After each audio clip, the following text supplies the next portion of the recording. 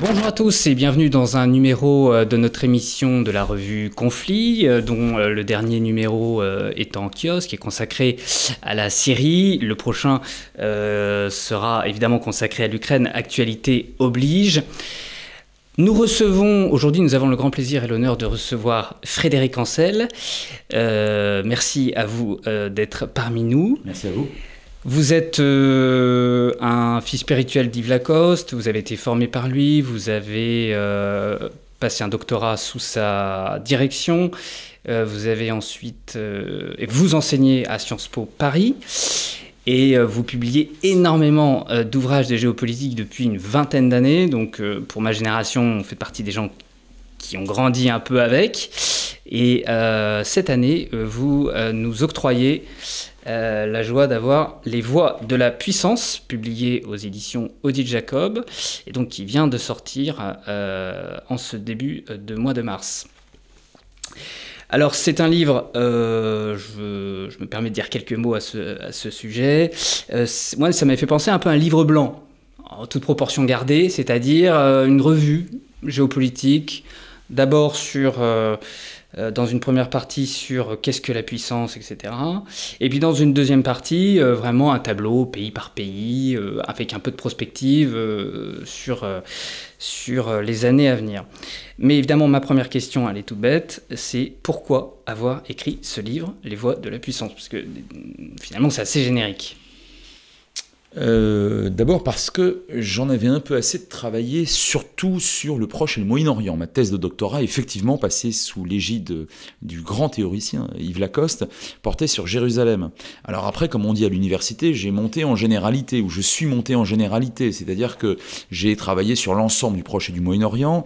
Euh, mon habilitation à diriger des recherches, que j'ai également euh, passé à l'Institut français de géopolitique de Paris 8, portait encore sur le Proche-Orient, et la plupart de, mes ouvrages et de mes articles, conférence euh, portait là-dessus. Et j'ai voulu travailler sur euh, du plus large en quelque sorte, hein, euh, en passant d'ailleurs par le monde arabe et le printemps arabe plus particulièrement, parce que la Société de géographie m'avait fait l'immense honneur de m'attribuer son grand prix pour le, en particulier, un bouquin paru naguère au PUF sur la géopolitique donc du printemps arabe. Et puis, pour continuer de monter en généralité, les critères, les paramètres, les, euh, le, cheminement précis, les illustrations de la puissance. Au fond, quand on fait de la géopolitique, et j'en fais maintenant depuis 27-28 ans, on parle systématiquement de puissance. Et je pense que c'est l'un des, l'un des thèmes ou l'un des termes pour le coup les plus galvaudés ou les plus mal utilisés. C'est comme celui d'alliance. Par ailleurs, quelque chose me gênait profondément ces dernières années, c'est son caractère performativement négatif. La puissance, notamment chez les Européens, alors jusqu'au mois de février 2020, euh, pour ce qu'on pourra peut-être revenir à la crise actuelle, mais peut-être que quelque chose est en train de changer, je, je ne sais pas. Mais c'était euh, lié euh, à l'idée de nation, elle-même euh, très liée au concept de frontières, tout cela étant extraordinairement négativé. Bon, et je voulais, alors d'abord expliquer, analyser ce qu'était, ce à quoi correspondait très concrètement la puissance, à quoi elle pouvait servir. je voulais la sortir de sa gangue donc dévalorisante, et puis essayer encore une fois de travailler sur ceux qui la maniaient, ceux qui la possédaient, ceux qui en étaient dépourvus, quelles étaient les causes et les conséquences hein, de, la, de, la, de la montée en puissance. Et ça n'existe. Alors, ça existait, on peut citer des, livres de, très grands théoriciens et parfois de gens moins, connus, mais je considérais je considère encore aujourd'hui que les voies de la puissance a quelque chose de novateur, pardon pour l'outrecuidance, mais je suis euh, assez, euh, euh, fidèle, comme vous l'avez dit, même très fidèle à l'approche géopolitique lacostienne. On va peut-être pouvoir y, revenir. Et je pense que ça s'adapte, les outils fournis par Yves Lacoste s'adaptent très bien à, à la recherche s'agissant de près ou de loin de ce qui correspond à la puissance.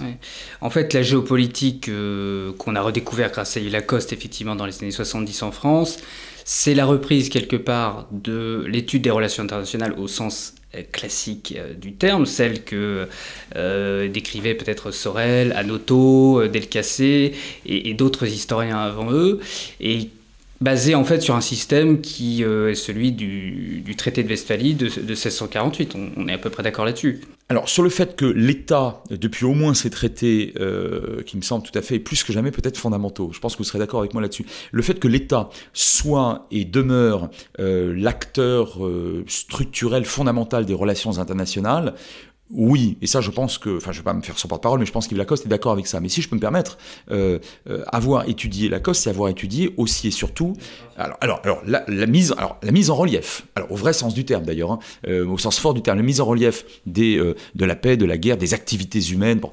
et, et, notamment des, des, rivalités de pouvoir, hein, l'étude des rivalités de pouvoir hein, chez, chez, Lacoste, très important, qui, qui mène en général à la recherche de la souveraineté ou au recouvrement ou au renforcement de la sacro-sainte souveraineté, bon, mais surtout les représentations. Je voudrais vraiment insister sur ce terme, si vous le permettez. Les représentations. Pour moi, ça a toujours été l'outil conceptuel le plus novateur chez Lacoste. La représentation, c'est cette perception identitaire, collective, sur des temps longs, chers à Fernand Brodel, qui, euh, qui fait se mouvoir des populations, euh, qui est utilisée ou instrumentalisée par des régimes politiques qui préside aux destinées de ces populations, la représentation. Et j'ai beaucoup travaillé dans ce livre sur les représentations. Alors justement, est-ce que est-ce qu'on peut utiliser ce concept de la géopolitique? Bon, nous, euh, à la revue Conflit, on connaît bien, parce qu'on est une revue de géopolitique, c'est un terme qu'on assume sans difficulté et qu'au contraire on essaie de, promouvoir. Qu'est-ce que la géopolitique peut nous euh, aider à comprendre dans le conflit actuellement entre euh, l'Ukraine et la Russie Alors très précisément, les représentations de Vladimir Poutine, autrement dit d'un nationaliste russe au fond relativement classique, bon, euh, elles sont tout à fait passionnantes. On ne l'a pas suffisamment lu et entendu. On pensait, et je prends ma part d'erreur, on pensait jusqu'à euh, ces dernières semaines que, euh, conformément aux 22 dernières années de pouvoir qui étaient les siennes, pouvoir pas, pas toujours solitaire d'ailleurs, et pas toujours aussi autocratique aujourd'hui, eh bien Poutine, quelque part, avait, avait relégué l'idéologie ou ses représentations grands russes ou pan russe euh, derrière un véritable pragmatisme, une véritable prudence à la Clausewitz, euh, qu'il lit dans le texte et dont il est un adepte, hein, il le reconnaît lui-même.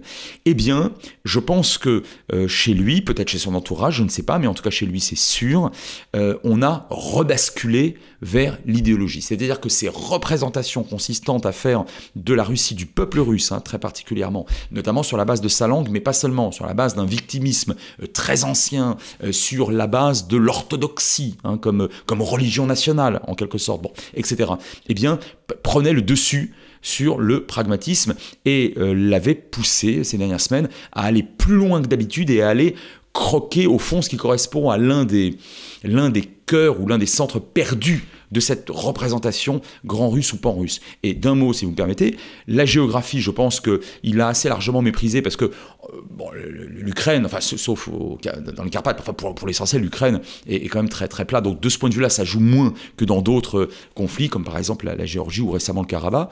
Euh, mais les rivalités de pouvoir, les rivalités de pouvoir. C'est-à-dire que Poutine tente de jouer dans son étranger proche, hein, et ça a été vrai donc dans le Caucase et peut-être même d'ailleurs en Asie centrale avec le Kazakhstan récemment, il tente de jouer les rivalités de pouvoir locales à son profit, au profit du retour le plus possible, pas total, mais le plus possible, à un empire, alors euh, ici peut-être euh, tsariste, là peut-être soviétique. Oui, c'est justement, elle est là, peut-être sa représentation, c'est que c'est une représentation impériale, et d'ailleurs au début de votre livre, vous dites bien que tout empire périra, en reprenant la fameuse euh, formule qui avait été reprise aussi de, qui est de Durocell, mais qui avait aussi été reprise par Gérard Chalian, je m'en souviens très bien. Euh, d'ailleurs, c'est une formule que vous utilisez pour les États-Unis. Vous dites que euh, les États c'est au tout début, c'est dans les premières pages, je crois, l'introduction de votre livre. Vous dites ça, tout empire périra.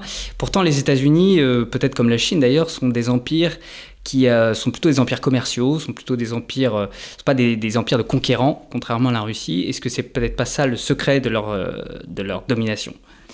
Oula, alors le secret de la domination, d'abord le terme est très fort, de l'imperium, je préfère c'est un terme qui, pour moi est plus neutre. Enfin en tout cas le fait que ce soit les deux premières puissances mondiales, euh, je parle des États-Unis et de la Chine. Ça c'est juste, oui.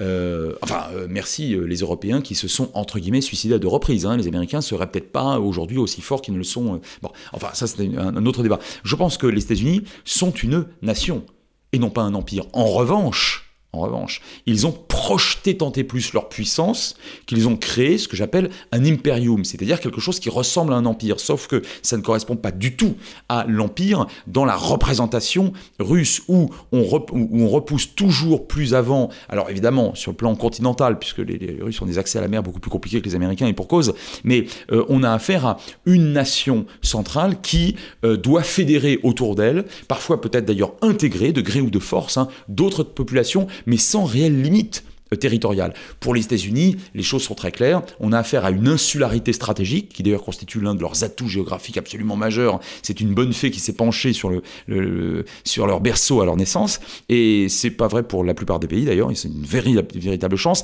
Donc les États-Unis ont projeté de euh, la force par-delà les mers, en s'inspirant d'ailleurs beaucoup, entre parenthèses, des Britanniques, mais aussi de Jomini, le, grand stratège euh, suisse. Euh, on, a deux formes différentes d'imperium. Ils ont quand même conquis l'ouest de l'Amérique en chassant des populations indiennes, ce qu'on oublie souvent quand on parle des, États-Unis. Donc ça. Non, non. Vous, alors vous, avez raison. Vous avez raison. et en chassant d'ailleurs aussi, enfin, c'était pas encore réellement un État-nation, mais ça l'était déjà un peu. Les Mexicains. Là aussi, on l'oublie trop souvent parce que pour le coup, une grande partie du Sud-Ouest américain bien évidemment mexicain. Non, mais de ce point de vue-là, et les Canadiens français aussi qu'on n'oublie pas. Et, on les oubliera pas non plus. Voilà. Non, mais vous avez raison. Je, retrouve là un, particularisme euh, très très défiant et, pas, pas, toujours illégitime vis-à-vis des États-Unis. Non, on a affaire en tout cas depuis au moins la doctrine Monroe, à une politique de type euh, impérial ou impérialiste. Mais je pense qu'il s'agit d'un mode de fonctionnement. Ce n'est pas une représentation d'eux-mêmes. Les Américains ne projettent pas des Américains aux quatre coins du monde pour coloniser, au sens de la colonisation européenne, ou russe d'ailleurs, hein, euh, des, euh, des, territoires. Hein. On ne projette pas des populations. Donc c'est intéressant. La, cette représentation de l'imperium, de, hein, elle est de nature, je ne dis pas qu'elle est plus ou moins légitime ici ou là, mais elle est de nature Donc différente. Elle est, elle est cadrée aussi par la démocratie américaine. Enfin, je...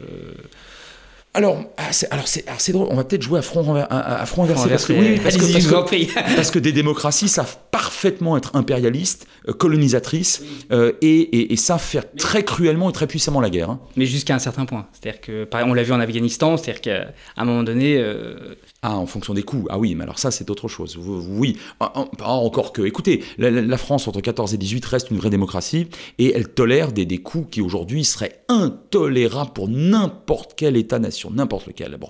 Donc, euh, vous, avez raison, mais, ça, dépend, ça dépend des périodes. Euh, voyez, donc, euh, donc, je pense que la, nature démocratique, institutionnelle de l'Empire n'est pas, n'est pas mécaniquement liée au, au modus operandi de, de cet empire. D'accord. Alors revenons à la Russie. Vous, vous pensez donc, si je comprends bien, que Poutine, son intention là actuellement, c'est de prendre l'ensemble de l'Ukraine. C'est pas de viser juste une partie russophone, c'est-à-dire une coupure euh, sud-est du pays.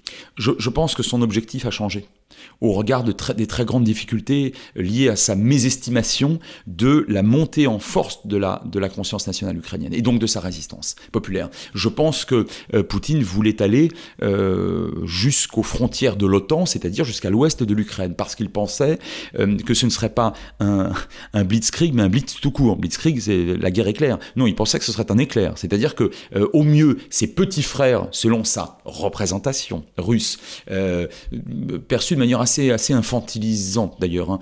Euh, les petits frères, au pire, seraient passifs, et au mieux seraient très heureux d'échapper à la décadence occidentale et de récupérer le giron et de se retrouver sous le giron russe. Bon, ben c'est pas comme ça que ça s'est passé.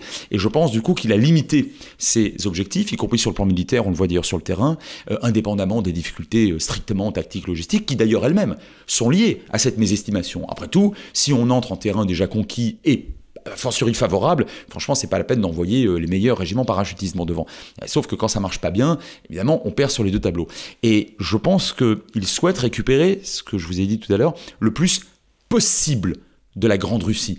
Euh, Qu'elle fut, encore une fois, tsariste ou soviétique, à la fin des fins, euh, une partie de la Roumanie, une partie de la Pologne, la Moldavie, euh, furent, une, partie des, pays baltes, ou tous les pays baltes d'ailleurs sous l'URSS, furent intégrés et le Caucase bien sûr, euh, dans, un, dans une grande Russie, hein, avec un petit tiret entre euh, grande et Russie. Bon. Euh, mais je pense qu'il est encore suffisamment pragmatique, en dépit des risques qu'à mon avis, il a pris des risques plus importants qu'il a pris cette fois-ci, par rapport à ses 22 dernières années de pouvoir, comme je le disais. Je pense que le terme le plus important, c'est possible. Il reste pragmatique. Donc qu'est-ce qu'il est possible de faire à des coûts non rédhibitoires. Bon, d'après lui, encore une fois. Et là, aujourd'hui, je vous rejoindrai davantage, en tout cas sur, sur, sur votre question, je pense qu'il se, entre guillemets, contenterait, contentera, parce qu'il voit bien qu'il ne peut pas aller plus loin, d'une partie de l'est de l'Ukraine. Hein. La partie la, partie la, plus, russophone. russophile aussi. Oui, c'est ça. C'est-à-dire le Donbass, oui, les oblasts de euh, Melitopol, Kherson et peut-être Odessa, mais, peut Odessa. mais pour l'instant il l'a pas, ça c'est, euh, il est loin de l'avoir, ça c'est une certitude. Donc on arriverait peut-être à un scénario à la coréenne en fait, ce qu'on a connu dans les années 50, d'ailleurs au tout début de la guerre, première guerre froide, c'est-à-dire une armée qui avance et ensuite qui stoppe, et ensuite une, une situation qui se fige. Oui, une situation qui se fiche, bah, un petit peu comme en Géorgie. Au fond, il n'y a jamais eu de traité de paix. Hein. En Géorgie, puis la situation en Abkhazie et en, et du Sud, euh, bah, elle est figée. Mais, euh, mais comme euh, est figée la situation dans le Donbass déjà investi, enfin l'Est du et la Transnistrie, si on revient et, et la Transnistrie. Dans la situation, elle est figée. Et je pense que pour Poutine, l'intérêt, dans un étranger proche qu'il sait ou qu'il croit savoir ne pas pouvoir englober ou digérer ou annexer, c'est créer des prurites créer des zones d'instabilité, des zones grises, dans lesquelles il pourra, lui le chef d'une grande puissance pauvre, jouer avec, les instruments du pauvre, dont cette déstabilisation. Ça fait une très bonne transition, la grande puissance pauvre, parce que c'est un, thème que vous, euh, vous développez d'ailleurs pour des puissances auxquelles on n'avait pas l'habitude d'entendre. Vous parlez même de la France, de la Grande-Bretagne comme des grandes puissances pauvres. Bon, on pourrait éventuellement discuter, mais je voulais d'abord avant ça revenir sur euh, justement l'économie russe, puisque vous estimez que c'est une nation qui, effectivement, dont le PIB est équivalent à celui de l'Italie. Euh, est-ce que la Chine ne peut pas en profiter? Est-ce que la Chine peut, entre guillemets, pallier ce que la Russie va perdre côté européen et côté occidental en général? C'est la question. Oui, c'est une bonne question qui renvoie d'ailleurs à la question presque philosophique des sanctions. Hein. Sont-elles euh, utiles euh, Ne se retournent-elles pas contre ceux qui les imposent? D'abord, ça, coûte cher hein, d'imposer des sanctions. On voit bien que ça va nous coûter aussi, ça c'est le premier point. Deuxième point, en général, ça marche pas. Empiriquement, ça ne marche pas. Je me suis beaucoup intéressé, comme vous le savez ou comme vous l'imaginez, au cas iranien, ça marche pas. Euh, beaucoup de populations ont même tendance parfois à se, souder derrière un gouvernement même détesté parce que les sanctions ou les soldats qui viennent dans les fourgons d'étrangers, c'est en général c'est pas très acceptable. et puis trois, on risque de pousser en l'occurrence l'économie russe, dans les bras de l'économie chinoise. Bon, mais ça, évidemment, euh, ça ne nous conforte pas. Enfin, c'est même pour moi un, risque extrêmement euh, grand, grave. Et, j'ai dit ces dernières années, et j'ai été contesté pour ça, et pourquoi pas, que la Chine représentait finalement pour l'Europe euh, une menace, sur, encore une fois, sur des temps longs, plus importante que, la menace russe. Bon, on peut toujours en discuter. évidemment, depuis un mois, là, c'est plus difficile de, dire ça, de dire ça dans, en ces termes-là. Mais donc, du coup, les sanctions, c'est extrêmement compliqué. Et en même temps, si vous ne maniez pas en amont d'une crise ou d'une guerre, ou pendant celle-ci, si vous n'agitez pas l'épée de Damoclès de sanctions, alors vous vous rendez compte de ce que ça signifie en termes de crédibilité et en termes de capacité dissuasive. C'est-à-dire que euh, M. Poutine va s'arrêter d'une manière ou d'une autre quelque part, alors grâce à la résistance ukrainienne, ça c'est euh, évidemment un acquis, mais, il va sans doute aussi s'arrêter euh, quelque part parce que au-delà, ça devient réellement très dangereux. Et en l'occurrence, c'est surtout les frontières de, des, États de l'OTAN.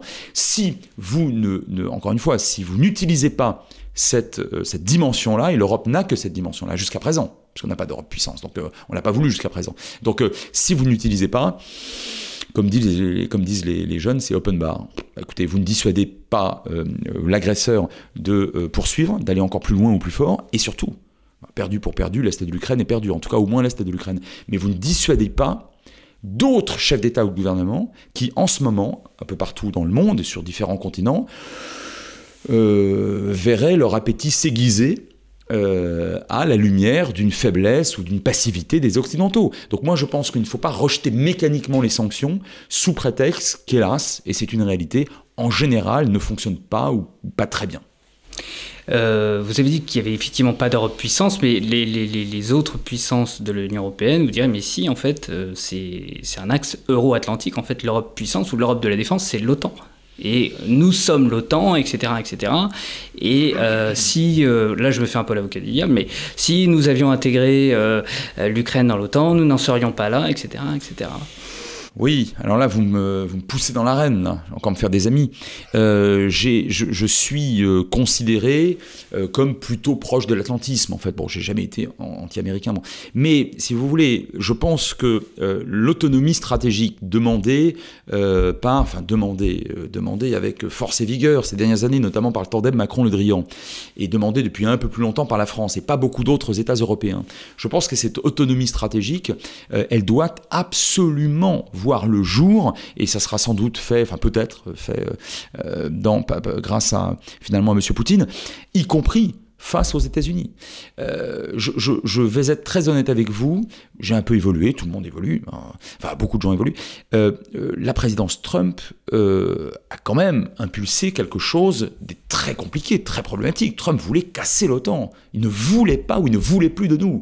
Et les Allemands, par exemple, étaient terrorisés à l'idée d'une réélection de Trump parce qu'il allait casser l'OTAN. Et donc, cette espèce de fiction selon laquelle, bah, au fond, les Américains euh, protègent l'intégralité ou la quasi-intégralité des Européens euh, de tout type de, menaces, et je dis bien que c'est aujourd'hui une, fiction, euh, c'était leur axiome diplomatique et stratégique fondamental aux Allemands, mais, mais aussi aux Benelux, et je vous parle même pas des Polonais et des Baltes. Bon, quant aux Tchèques, ils ont la mémoire longue, c'est dommage, mais ils se souviennent de 38 Munich. Bon, donc évidemment, ils ne jurent que par les Américains et non pas par les Français et les Britanniques.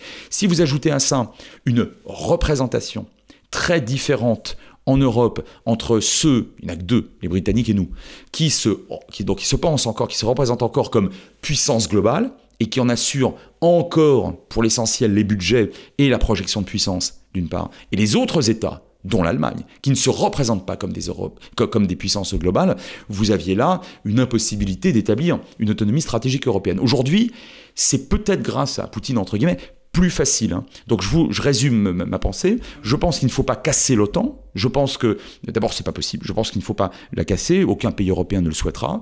Euh, d'autres États sont en train de rejoindre l'OTAN. On parle évidemment de la Suède, de la Finlande, mais je pense qu'il y en aura d'autres. Très bien, pourquoi pas. Mais aujourd'hui, ça nous protège et ça protège les, frontières de l'Europe orientale d'un Poutine qui, peut-être, on ne le saura jamais, peut-être, serait allé plus loin que, Kiev. Euh, mais je pense que nos intérêts, les intérêts européens et français en particulier, ne sont pas mécaniquement liés à ceux des États-Unis. Alors, euh, je vous donne l'impression de découvrir quelque chose, parce que vous, vous en êtes tout à fait euh, conscient, convaincu, et c'est votre, votre truc. Hum, j'ai un peu évolué là-dessus. Je pense aujourd'hui qu'il faut réellement aller fortement et rapidement vers l'Europe puissance. Bon, on en reparlera, on en reparlera peut-être dans 20 ans. Je ne dis pas que ça va se faire, je dis qu'il faut le faire. Vous aurez peut-être évolué euh, de ce point de vue-là aussi. Je rechange un petit peu de région, désolé de vous ramener au Moyen-Orient. Mais moi, j'ai trouvé quelque chose d'intéressant là, dans cette crise russo-ukrainienne, c'est la, tentative de médiation qui a eu lieu il y a, il y a quelques jours, euh, d'une part d'Israël et de la Turquie. Alors, euh, vous connaissez bien la géopolitique d'Israël, puisque ce sont vos sources euh, universitaires. Euh, est-ce que c'était lié, à votre avis, au dossier iranien, qui était en parallèle en négociation, ou c'était vraiment quelque chose qui concernait le conflit? Est-ce que ça avait une chance d'aboutir? Est-ce que ça peut encore aboutir? Pourquoi Israël, finalement, est bien placé pour... pour pour se placer là? Est-ce que c'est un peu inédit aussi d'avoir une diplomatie israélienne qui arrive à s'introduire à comme ça dans une crise aussi majeure alors dans votre très bonne question, vous évacuez rapidement la Turquie, donc je vais le faire, euh, non, je vais faire de même. Après, ah d'accord, parce que non, parce que je pense qu'il n'y a pas grand-chose à dire sur euh, Monsieur Erdogan qui a échoué absolument partout. Hein. Donc euh, aujourd'hui, il a essayé de jouer sur tous les tableaux, il a échoué partout, et aujourd'hui, tout penaud, il essaye de revenir dans les bonnes grâces des, Européens et des Occidentaux. Et je pense que ça va être extrêmement, extrêmement compliqué. Et par ailleurs, là aussi, bah, tenez, je le dis d'une phrase, le terme d'alliance entre Ankara et Moscou est ridicule. Ça fait des années que je dis qu'il n'y a pas d'alliance entre la Turquie et la Russie. Simplement, il y a une conjonction d'intérêts. En fait, surtout un intérêt particulier, c'est celui, pardon, hein, je le dis d'emmerder les Américains et les, et les Occidentaux. Ça a été fait dans une certaine mesure en Syrie. Pour le reste, il n'y a pas un soldat turc dans le Caucase et au Karabakh, comme vous l'avez bien vu depuis un an et demi. Euh, euh, et, dans les autres régions, ils ne s'entendent absolument pas. Je pense que la diplomatie turque là-dessus, c'est foutraque. En revanche, pour ce qui concerne Israël, moi je ne crois pas qu'il y ait eu médiation.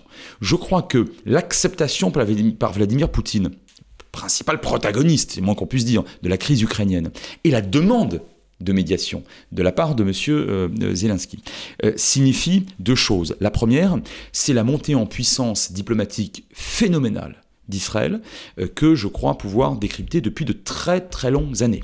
Pour plein de raisons, sur le plan technologique, énergétique maintenant avec le gaz naturel. Bon, il y, a plein de raisons qui font qu'aujourd'hui euh, Israël euh, accroît considérablement sa puissance. D'ailleurs, l'illustration au Proche-Orient et au Moyen-Orient de ça, ce sont évidemment les accords d'Abraham. Bon, on pourrait y revenir. C'est l'illustration de quelque chose, d'un pays qui est tout petit, 9 millions d'habitants, qui est la 18e ou 19e économie mondiale, c'est bien, mais c'est pas le top 5-6, et qui n'est même pas dans la région. Et pourtant, on demande à son Premier ministre de venir faire une médiation. Moi, je crois surtout que ça relève d'un deuxième point qui est un véritable fantasme partagé par beaucoup d'Est européens, de Russes aussi, euh, et, d'ailleurs euh, un fantasme partagé par beaucoup de, euh, dans beaucoup d'autres, à la tête de beaucoup d'autres États. C'est celui consistant à croire que via ou par le truchement de bonnes relations avec Israël, on va pouvoir toucher les Juifs américains qui eux-mêmes, pense-t-on, disposent d'une telle puissance politique qu'ils vont pouvoir exercer des pressions sur tel ou tel président ou tel ou tel groupe de sénateurs.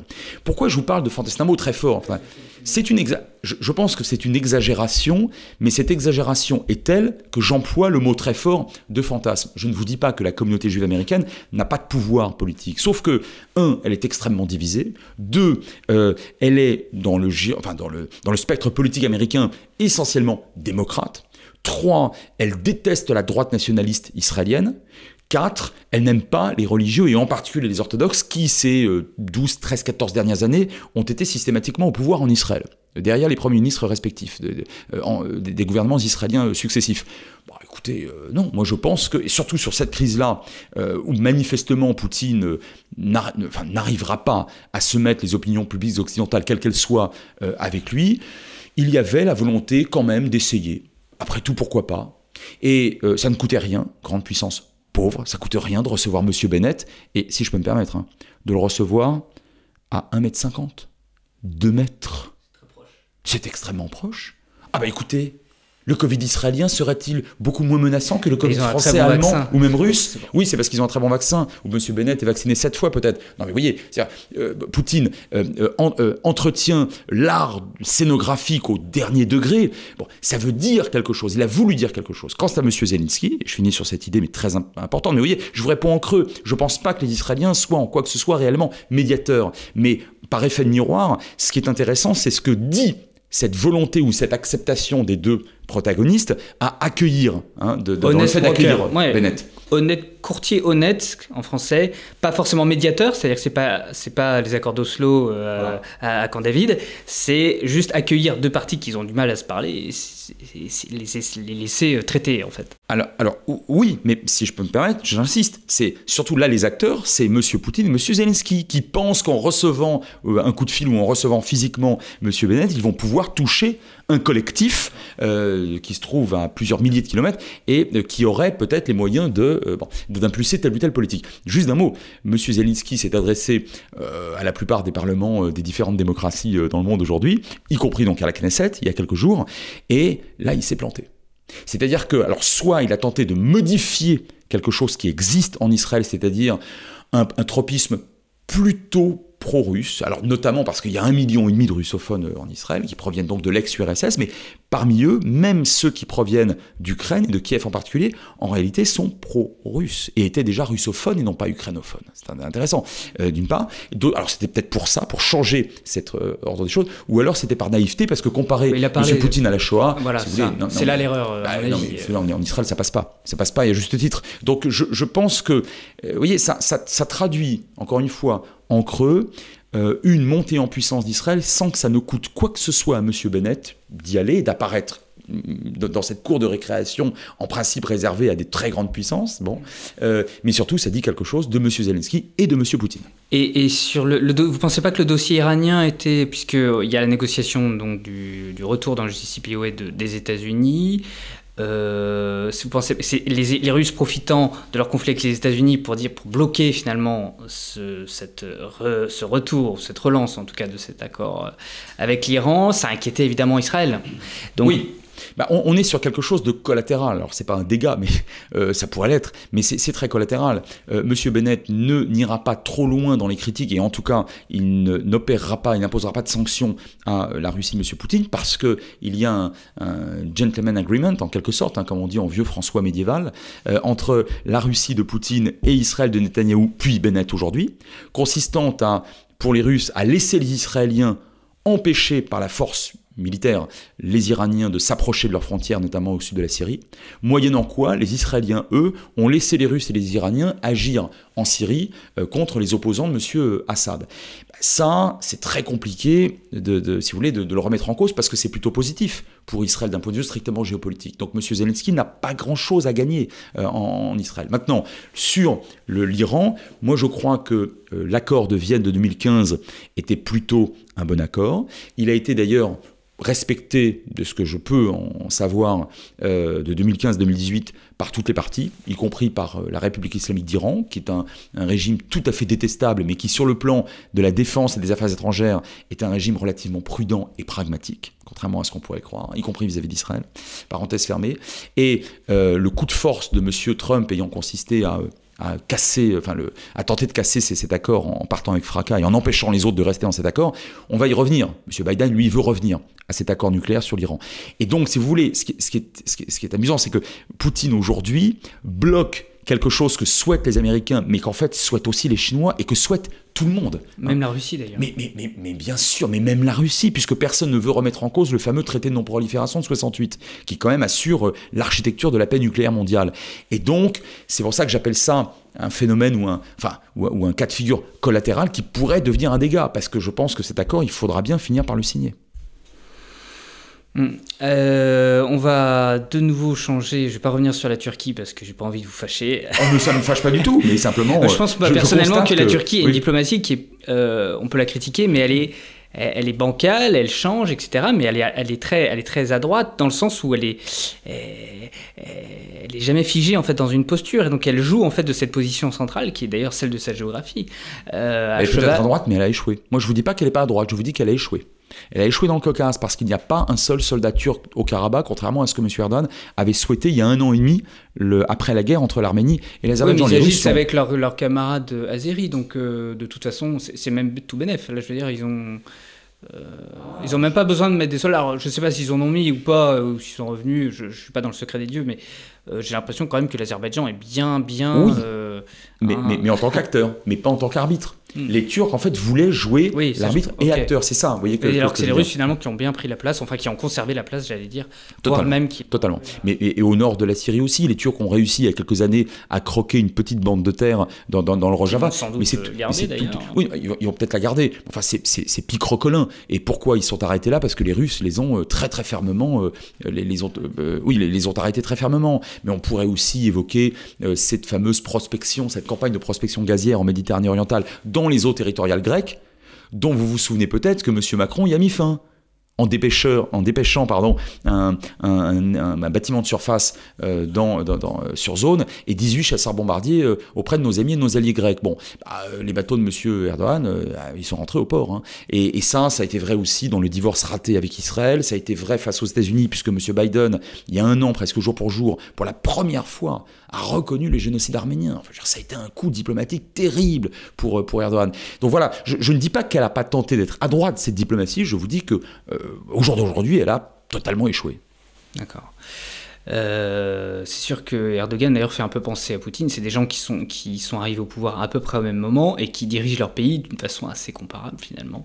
Avec euh, une véritable dérive aussi. Peut-être aussi avec une dérive dans les années à venir assez dangereuse pour leur pays. Absolument. Et pardon, juste d'un mot, on a affaire à deux des trois puissances les plus révisionnistes à mon avis. J'en parle dans le bouquin. La Russie, pas révisionniste au sens du négationnisme, bien sûr, révisionniste au sens de la révision de, voilà, des, des, des, traités. Euh, la Russie, donc bien sûr, on en a parlé, bien, la Turquie et la Chine, avec les traités inégaux. Et la Chine. Néo-impérial, hein, on peut dire révisionnisme, on peut dire aussi néo-impérial.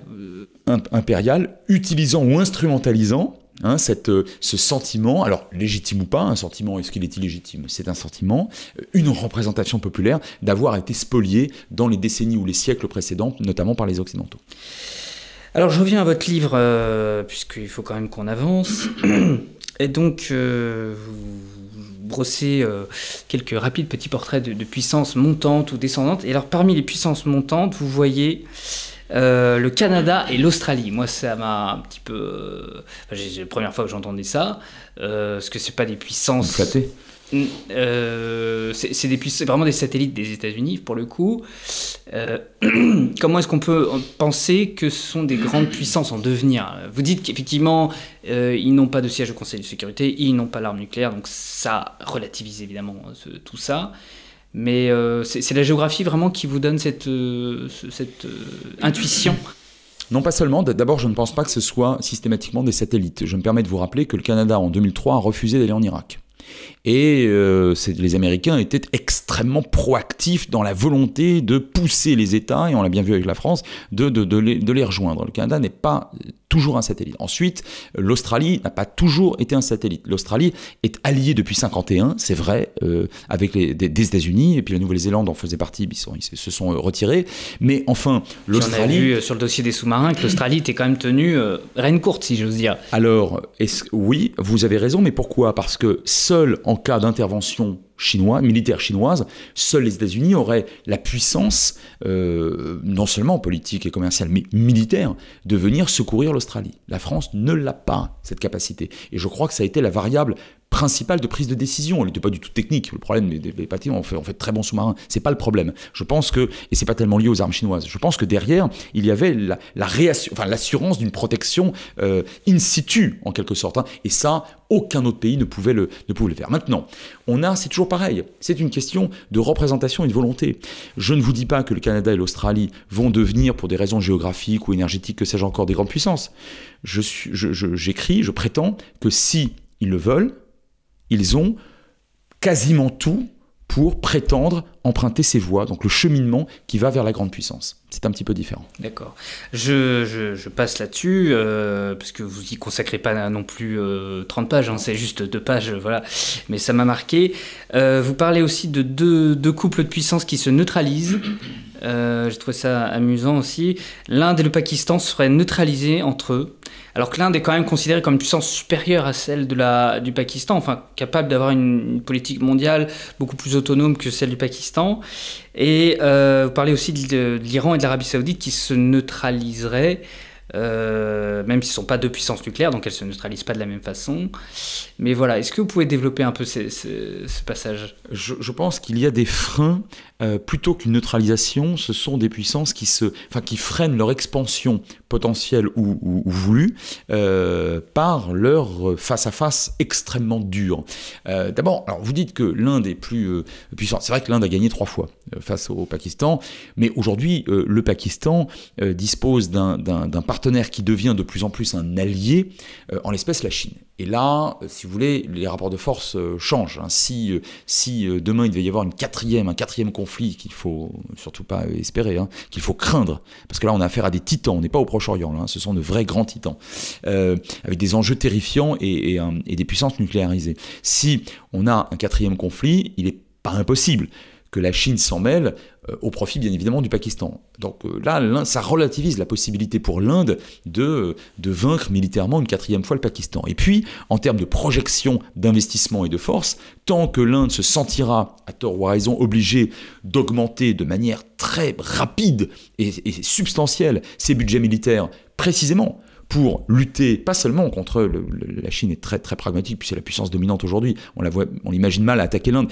mais contre le Pakistan, qui lui est très revanchiste sur le, sur le, sur le Cachemire, eh bien ça grève une partie des possibilités indiennes d'aller investir ailleurs. Et je pense notamment à l'Afrique orientale. Bon, donc euh, ou, à la création d'une très grande flotte euh, dans, dans l'océan Indien. Donc il y a une, sinon une neutralisation, en tout cas un affaiblissement mutuelle d'un certain nombre de puissances du fait précisément de leur rivalité euh, bi, enfin, binationale. Oui, l'Arabie saoudite et l'Iran dans une, dans une certaine mesure, oui, oui aussi. pourquoi croyez-vous que l'Arabie saoudite achète à grands frais autant d'armements sophistiqués, il n'est absolument pas du tout sûr d'ailleurs qu'ils sachent réellement s'en servir, enfin, euh, c'est pas dans l'absolu, c'est pas, pas pour lutter contre les Émirats et leurs alliés, donc bon, c'est pour lutter éventuellement contre l'Iran. En tout cas, c'est pour déjà en amont dire quelque chose à l'Iran. Euh, vous voyez, donc euh, oui, on a affaire comme ça à plusieurs cas de figure, et comme on n'en parle pratiquement jamais, ben moi je voulais quand même indiquer que la puissance pouvait être grévée ou freinée par une, une, rivalité à la frontière, une, rivalité bilatérale. Alors on va reprendre un peu de, de hauteur et on va revenir sur la géopolitique globale, mondiale, autour de la question de l'isolement de la Russie, qui est un peu le thème dont on entend beaucoup parler, qu'on pourrait isoler la Russie, un pays qui fait 11 fuseaux horaires, euh, qui a une frontière avec la Chine de plusieurs milliers de kilomètres, et dont on a vu le ministre Sergei Lavrov se réunir tout récemment avec les ministres des Affaires étrangères des BRICS, donc l'Inde, la Chine, et donc des grandes puissances euh, en termes démographiques et géographiques. Donc, est-ce que c'est un sens de dire euh, on va isoler la Russie? Ça a un sens de le chercher. Euh, après tout, si la Chine euh, euh, commence à perdre patience, ce qui se fera à mon avis à court terme pour des raisons à la fois politiques, puisque l'Ukraine est un État souverain, et que la Chine défend la sacro-sainte souveraineté des États, bon, et économiquement, parce qu'avec un baril à 50, 60, 70 dollars, la Chine s'en sort à peu près en termes de croissance, d'ailleurs plus ou moins molle d'ailleurs, en tout cas au regard des objectifs de Xi Jinping. Enfin bon, mais avec un baril à 150 dollars, c'est pas possible. Et ça, c'est dû directement à l'aventurisme de M. Poutine aujourd'hui. Bon. Donc je pense que la Chine aura peu de patience. Mais enfin, c'est pas idiot de d'imaginer euh, isoler non seulement diplomatiquement, mais effectivement, oui, financièrement, euh, la Russie. Euh, c'est pas juste. Une, vous avez raison de rappeler la géographie de la Russie, mais enfin, vous savez, quand, les, quand, les glaces prenaient, ce qui n'est plus vraiment le cas aujourd'hui, en tout cas plus, plus constamment, mais quand les glaces prenaient l'intégralité du nord sibérien, écoutez, oui, non, non, on a géographiquement la possibilité de tenter de est-ce que c'est. Est-ce qu'on peut y arriver? Alors voilà. Alors, alors d'abord, je pense qu'on peut pas y arriver, mais parce que la Chine ne le voudra pas. Je suis pas en train de vous dire que la Chine va soutenir militairement la Russie, mais la Chine ne veut en aucun cas donner un, point, en quelque sorte, un bon point à l'Occident. Là, on a une, rivalité, et la perception et la réalité d'une rivalité euh, chinoise avec Washington. Hein. Donc là, euh, là il s'agit d'un conflit très dur, en moins les armes. Et donc, de ce point de vue-là, la Chine, tout en soutenant très mollement, très tièdement, on l'a bien vu au Conseil de sécurité et à l'Assemblée générale des Nations Unies d'ailleurs, euh, et, via ce coup de fil de Xi Jinping à Zelensky quand même. Hein. Donc on a vu que la Chine soutenait très mollement la Russie, mais en tout cas, elle ne va pas la contraindre, elle ne va pas lui tordre les bras. Donc de ce point de vue-là, je, rejoins ce qui sous-tend votre question, non, on ne peut plus. La Chine est devenue tellement puissante que, y compris d'ailleurs sur le plan technologique, ce qui n'est pas le cas il y a encore 20 ou 30 ans, qu'elle peut pallier une partie des sanctions occidentales, une partie de plus en plus importante. Si vous ajoutez à ça que l'Inde, qui n'a jamais mis tous ses œufs dans le même panier depuis sa création en 47, depuis son indépendance, jamais, si vous ajoutez à ça que l'Inde s'est abstenue, et tout en ayant d'excellents rapports à certains égards avec les États-Unis, Israël, la France et d'autres pays occidentaux, euh, cherche à ne pas accabler la Russie et va peut-être importer davantage de gaz et de pétrole pour la soutenir. Bref, si vous ajoutez tout cela, je pense que je pense qu'on n'y arrivera pas. Mais surtout, est-ce que c'est l'intérêt est-ce que l'isolement de la Russie euh, a un véritable intérêt à terme? Je me fais enguirlander par, euh, par les atlantistes, mais euh, après cette crise, il y aura à l'est de l'Europe un pays qui s'appelle la Russie. Ça ne changera pas. Et elle disposera de réserves de gaz et de pétrole faramineuses, et on en aura toujours besoin. Et pire, il est probable que si sa santé le lui permet, M. Poutine sera là pour encore des, des années ou des décennies. Donc, ça ne veut pas dire qu'il, surtout pas, hein, pas moi qui vais vous dire ça, il ne faut pas être complaisant aujourd'hui. On a raison, me semble-t-il, de d'imposer des sanctions à la Russie, mais à la condition que ça, ça pousse la Russie à faire, enfin, à faire amende honorable. Je ne dis pas être iréniste, pas moi, pas candide, mais en tout cas que ça, que ça contraigne Poutine à ne pas aller trop loin et à cesser son aventure euh, militaire. Mais euh, si c'est, euh, si vous voulez, si l'objectif L'isolement de la, Russie, je me résume, doit, doit relever d'une tactique ou d'une stratégie. Ça ne doit pas être un objectif. L'objectif à terme, c'est une architecture de la paix en Europe orientale euh, entre les Russes et, les Occidentaux. Pour moi, c'est ça l'objectif suprême. Encore une fois, je ne, veux, je ne suis pas complaisant avec Poutine aujourd'hui. Simplement, j'essaie d'être réaliste et de, et de voir qu'à terme, euh, écraser ou broyer économiquement ou diplomatiquement la Russie, c'est risquer de se mettre, alors pour le coup, à dos la population russe, qui elle demeurera, restera, hein, et de renforcer des représentations victimistes, complotistes vis-à-vis des Occidentaux. Voilà, je, dis ça de manière très humble. Oui. Et qu'est-ce que peut faire la France dans tout ça Puisque euh, là, on a l'impression d'être revenu sur un schéma de guerre froide, j'allais dire très, très classique. Donc, euh, est-ce que la France peut jouer un rôle quelconque? Elle le peut, mais cher monsieur, elle le fait. Moi, je pense qu'elle le fait. Alors après, euh, est-ce que c'est euh, totalement révolutionnaire? Est-ce qu'on est en train de réinventer la géopolitique ou la, ou la, ou la, ou la puissance qui était celle de Louis XIII Peut-être pas. du général de Gaulle. Oui, du général de Gaulle, oui. Enfin, attention, le général de Gaulle avait la volonté de.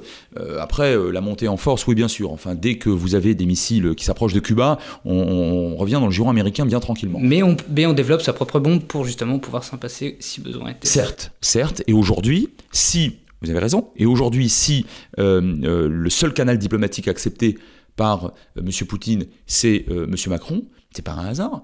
M. Macron ne dirige pas la principale puissance économique de, de, de l'Europe, de l'Union européenne, mais dirige la principale puissance militaire de l'Union européenne, c'est intéressant, et diplomatique de l'Union européenne, c'est intéressant. C'est intéressant aussi de constater que euh, ces cinq dernières années au moins, en tout cas... C'est aussi la présidence française de l'Union européenne, ça tombe assez bien, on va dire. Vous avez raison, vous avez raison, mais accorder quand même au président de la République et à son ministre des Affaires de l'Europe et des Affaires étrangères qu'ils ont essayé pendant cinq ans de, euh, j'allais dire, de, secouer le cocotier et de, de convaincre les partenaires européens qu'il fallait commencer à créer à minima une autonomie stratégique qu'on évoquait tout à l'heure, notamment face aux États-Unis. Notamment face aux États-Unis. Je ne suis pas en train de vous dire que ça a marché, ni même que ça marchera, mais, mais on a là, enfin, pardon, c'est une diplomatie de force, une diplomatie de puissance. Et par ailleurs, la France continue à jouer sa partition,